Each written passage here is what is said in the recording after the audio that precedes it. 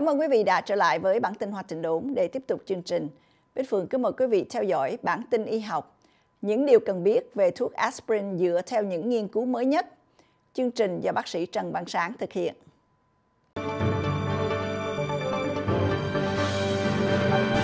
Xin uh, kính chào các quý thính giả của Đại sứ Việt Cảm ơn nơi lần nữa tôi xin trở lại trong chương trình với một cái tin tức gọi là tin tức mới nhất về cái uh, thuốc aspirin. Thì cái thuốc aspirin thực sự tôi muốn xin ôn trở lại chút xíu về cái lịch sử của nó. Thực sự nó cũng không có cái gì mà khó nhớ tại vì nó phát xuất từ cái cây gọi là willow tree mà chúng ta gọi là cái cây dương liễu theo người Việt Nam thôi.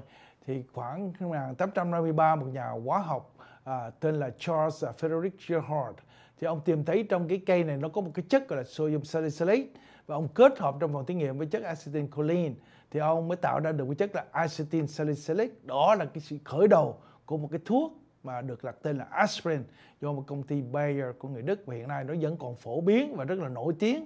Quý vị nhớ là gần 200 năm nay họ vẫn bán aspirin như thường. Thì chúng ta nhớ là cái hình cây dương liễu. Đối với người Á Đông chúng ta thì rất là thơ mộng. Cái cành liễu rủ dân dân trên bờ hồ nhân dân thì đây là cái cây mà chúng ta nhớ thực sự đối với người châu Âu. Đối với họ, lúc nào cũng tìm tòi quan sát và nghiên cứu thì từ cái từ cái thế kỷ thứ 18 đầu 19 thì họ bắt đầu quảng cáo về thuốc aspirin này ở khắp mọi nơi. Và quý vị nhớ là cái hình phía dưới là cái hình của người đàn bà. Đàn bà này bị nhức đầu và đang chờ đợi để được uống thuốc aspirin. Thì aspirin nó có hiệu quả kể cả chứng nhức đầu thông thường và những cái bệnh khớp nữa, thì đó là cái giá trị của nó cho tới ngày hôm nay.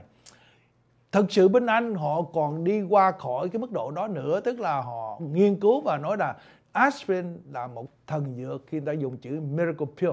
Có nghĩa là thần dược. Tại vì họ nghĩ là trong nghiên cứu của họ thì cái ung thư nó bị giảm bớt. Đó là cái cách mà họ nghĩ. Và nếu uống thuốc mỗi ngày thì chúng ta sẽ giảm bớt gần như là một phần ba những cái tỷ lệ ung thư à, ở khắp nơi.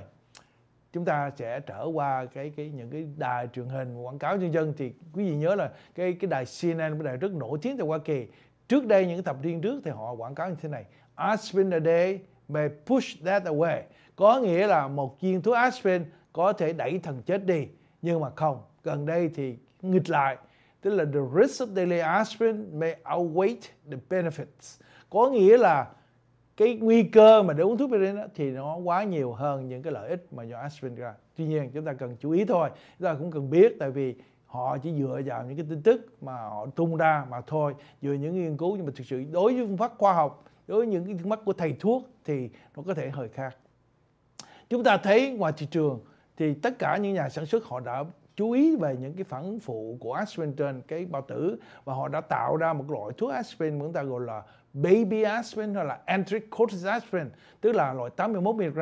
Bên cạnh đó có nhiều loại aspirin khác lắm 325 500 dân dân đó những loại không có vỏ bọc tại sao có vỏ bọc? Vỏ bọc để giúp cho cái thuốc aspirin nó đi qua thẳng qua khỏi bao tử và không có bị chất axit của bao tử làm tung cái hạt ra và ảnh hưởng cho bao tử và xuống ruột thì nó mới được hấp thụ lại. Chính vì vậy mà aspirin nó quá có nhiều công dụng. Chính vì vậy, hội tổ chức y tế thế giới gọi là một loại thuốc có hiệu quả và an toàn nhất trên thế giới trong những cái thập niên trước, giúp chữa trị sốt, đau nhức, cái bệnh viêm khớp. Tuy nhiên, quý vị nhớ là aspirin hiện nay công dụng chính của nó là dễ giúp chữa những cái nghẹt mạch máu tim và bị nghẹt mạch máu não do tai biến mà thôi. Công dụng của nó tại sao? Aspirin để làm gì? Thực sự, nó giúp cho những mạch máu không bị nghẹt cho sự thạch tập, sự thành lập của cục máu đông. Và aspirin giúp ngăn chặn cái tiểu bản không tụ lại trong mạch máu để tạo ra cục máu đông. Tại sao như vậy? Vì nhìn thấy trên cái hình ảnh. Mạch máu bình thường thì giống như cái ống nước, không có gì xảy ra.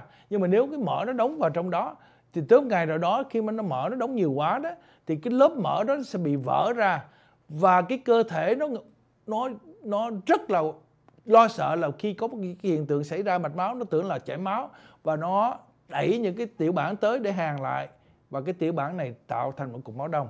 Chính vì vậy chúng ta bị tai biến mạch máu não hay bị nghẹt. Và cái aspirin sẽ giúp ngăn chặn cái cục máu đông đó. Như quý vị thấy trên bên phải của màn ảnh. Tuy nhiên, aspirin dẫn ảnh hưởng tới bao tử, làm đau, lét, và có thể chảy máu bao tử, làm tăng mức độ loãng máu và dễ bị bệnh mầm ngoài da, chảy máu mũi, răng dân hậu môn. Rất là quan trọng. Tuy nhiên, những cái lợi ích của aspirin nó vẫn còn giữ được cho tới ngày hôm nay. Rất là quan trọng, tại vì sau khi một mạch máu đã được thông hay nghẹt thì cái aspirin sẽ giúp cho mạch máu không bị đông trở lại hoặc là sau khi bị tai biến mạch máu não do nghẹt, nhớ là bị nghẹt chứ không phải bị chảy máu trên đầu, thì nhiều trường hợp phải xài hai loại thuốc loãng máu để giúp cho nó không bị nghẹt trở lại. Hiện nay chúng ta trên cái thị trường thì chúng ta bị trở ngại thì có nhiều cái tin tức tung ra là nói aspirin thực sự uống có hại hơn là có lợi. Thì cái câu chuyện nó phát xuất từ đâu? Cái chuyện đó phát xuất từ một nghiên cứu có tên là aspirin được đăng trên cái tạp chí là New England Journal of Medicine vào tháng 9 ngày 17 tức là gần đây thì trong nghiên cứu đó họ làm gì? Thực sự khó nghiên cứu rất là nhiều người tại hai quốc gia là Úc và Hoa Kỳ. Có 10, hơn 16.000 người ở Úc. Và chúng ta thấy có trên 2.000 người Mỹ tham dự vào trong này và được bảo trợ rất nhiều các cơ quan về nghiên cứu người già, về y tế và ung thư của à, Úc Châu. Thì họ nghiên cứu như thế nào, mục đích của họ để trả lời câu hỏi là nếu bây giờ tôi khóa mạnh, tôi già, tôi trên 70 tuổi thì nếu tôi uống aspirin nó có lợi hay hại? Và nó có giúp gì cho giảm bệnh tim mà chảy máu hay không? Hoặc là tôi nếu tôi uống aspirin thì tôi có bị là giảm được cái mức độ chết hay không cho những bệnh khác nhau hay không? Hoặc là nếu tôi uống aspirin thì nếu mà tuổi già tôi có thể sống khỏe mạnh hơn và không bị tàn tật hay không? Đó là ba câu hỏi người ta mới đặt ra khi mà được sử dụng aspirin. Chú ý cho những người khỏe mà thôi. Thì kết quả như thế nào? Chúng ta thấy là nghiên cứu, họ nghiên cứu từ thời gian từ 2010 đến 2014 thì có trên 19.000 người và được trên 70 tuổi và người da màu và mễ thì trên 65 tuổi.